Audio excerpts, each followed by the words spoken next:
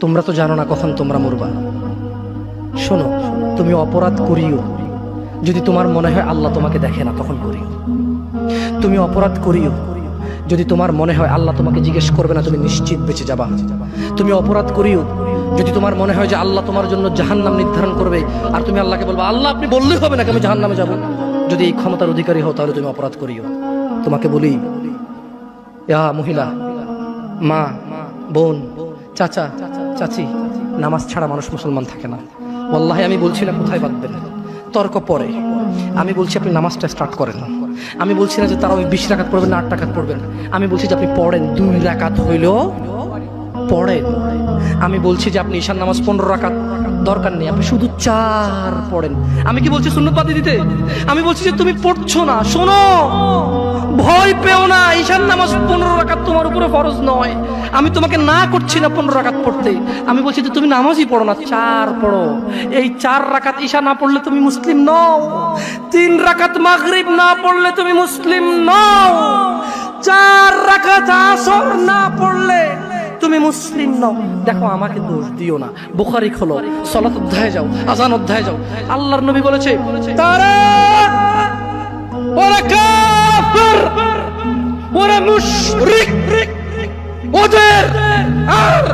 আমি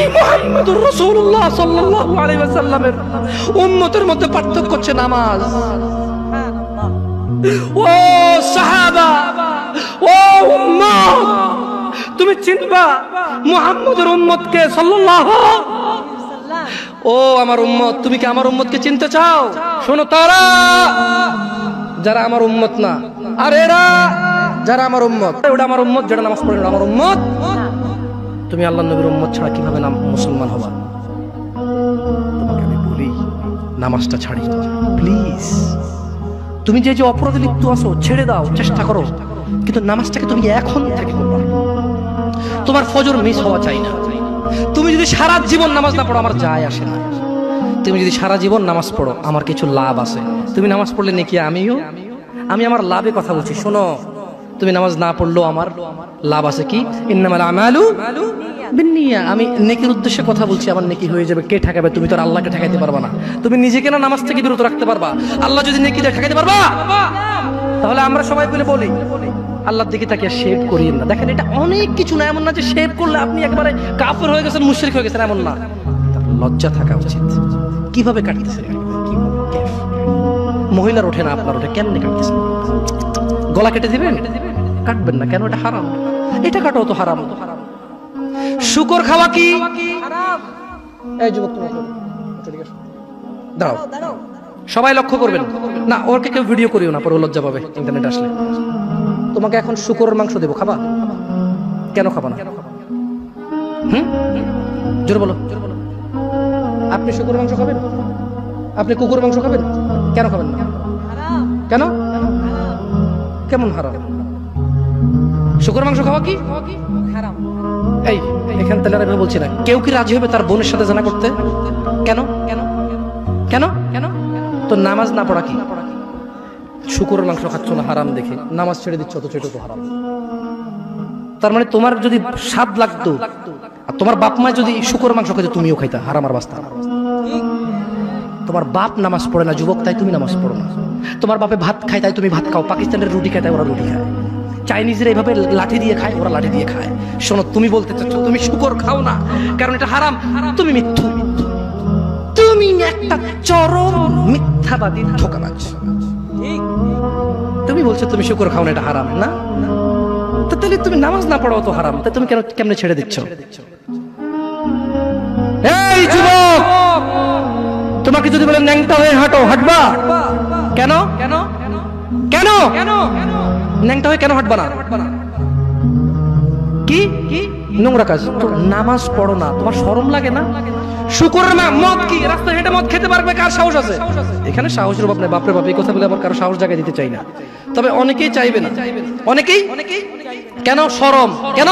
কেন কারণ কেউ যদি রাস্তা দিয়ে হেঁটে হেঁটে মদ খায়, ওর সাথে কেউ মেয়ে বিয়ে দিবে? কেউ আপনি রাজি হবেন? রাস্তায় ভাবে মদের বটল নিয়ে হাতে হাতে মদ খায়, এর কাছে মেয়ে বিয়ে দিবেন? কেন? কেন এটা নির্লজ্জ লোক মদ হেঁটে হেঁটে খায় ওপেনে। এই ছেলেটাই কিন্তু ওপেনে নামাজ পড়েন আপনি মেয়ে বিয়ে দিচ্ছেন। আপনি নাকি ধার্মিক? হ্যাঁ। চিটিং আমি আপনাকে বদনাম করতে আসি না কিন্তু আপনি মিথ্যুক এটা বুঝে নেন তো আচ্ছা আপনাকে মিথ্যুক বলার পর আমার কতটুকু লাভ হলো? দুই চার লাখ টাকা যাবে ঢুকেছে ঠিক না? আমেরিকা থেকে আসতেছে। না আমি আপনাকে মিথ্যুক বলে লাভ না আমি আপনাকে মিথ্যুক বলতে আসি নাই। তবে আমি আপনাকে বলি আল্লাহ ক্ষমাশীল ক্ষমাকারী ঠিক আছে? আপনি সত্য দাবিদার হবেন। একটা ছেলে প্রকাশ্যে মদ খেলে আপনি তার সাথে মেয়ে বিয়ে দেন না। একটা ছেলে প্রকাশ্যে নামাজ আদায় করে না। আল্লাহর কসম! এই পৃথিবীতে যত মদ আছে, সবাই যদি একজনে খেয়ে ফেলে, সে কাফের হবে না। কি হবে না? কিন্তু এক তো নামাজ ছেড়ে দিলে কাফের। আপনার কাছে মদ খাওয়াটা আমি কি মদ খাওয়াকে ছোট করে দিচ্ছি তার মানে না? এখন কিছু লোক বলে জামশেদ ভাই বলছেন নামাজ না পড়া অনেক বড় অপরাধ। আর মদ খা, তুই পুরো পৃথিবীর সব খেয়ালে কিছু। আমি মনে হয় এটা বলছি ঠিক না? না, এরকম বুঝে, ভাই, বুঝে বুঝে, এরকম অনেকে আছে বুঝে। এটা বুঝিয়েন না, আমি উদাহরণ দিয়েছি। শরম করুন। আপনি বাপের সামনে সিগারেট খেতে লজ্জা করে, বাপের সামনে বেনামাজি থাকতে লজ্জা করে না। আপনারা আপনার স্ত্রীদের সাথে যে ঘুমান, ছেলে সন্তানের সামনে ঘুমান, লজ্জা করে, কিন্তু ছেলের সামনে বেনামাজি থাকেন লজ্জা করে না। আপনি বুঝেন, এই পৃথিবীতে ইলাহা ইল্লাল্লাহ বলার পরে লা ইলাহা ইল্লাল্লাহ বলার পরে, ও আন্না রসুল্লাহ বলার পরে, শিরিক, আল্লাহর সাথে অংশীদারিত্ব হচ্ছে সবচেয়ে বড় অপরাধ। ঠিক আছে? এরপরের কাজ হচ্ছে সলা। এরপর কাজ কি? নামাজ। এরপর কাজ কি? নামাজ। আপনি জানেন? এই নামাজ না পড়লে মানুষ কাফের হয়ে যায়। অথচ মানুষ ন্যাংটা হয়ে হাঁটতে লজ্জা পায়। মানুষ প্রকাশ্যে মদ খেতে লজ্জা পায়। মানুষ প্রকাশ্যে দাঁড়িয়ে পেশাব করতে লজ্জা পায়। মানুষ প্রকাশ্যে প্রেমিকের সাথে কথা বলতে লজ্জা পায়। মানুষ বাপের সামনে সিগারেট খেতে লজ্জা পায়। মানুষ প্রকাশ্যে শুকুর মাংস খাবে না।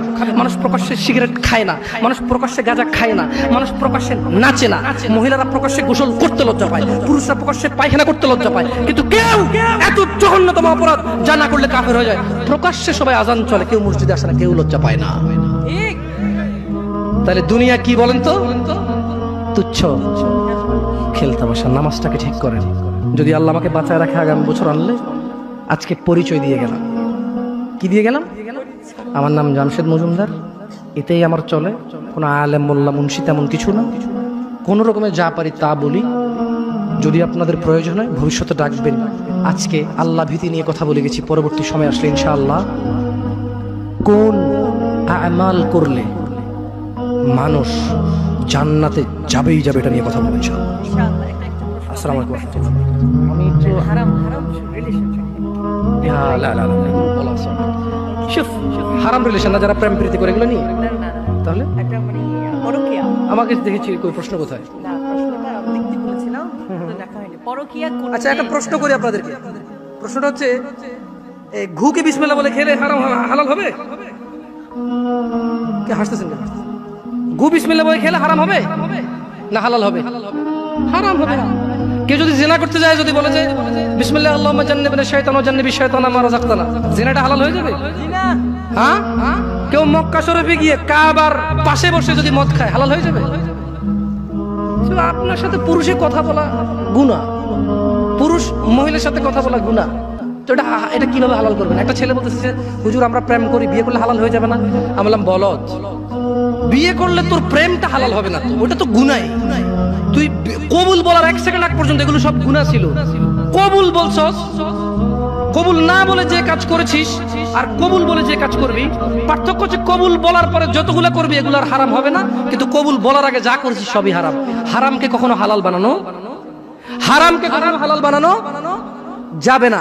বরঞ্চ এটা করতে পারিস যে আমি হারামে ছিলাম, আমি এখন এটা হালাল করেছি। আল্লাহ তুমি আমার হারামটাকে ক্ষমা করো। হারাম কখন হালাল হবে না। আসসালামু আলাইকুম রহমতুল্লাহ বরকাত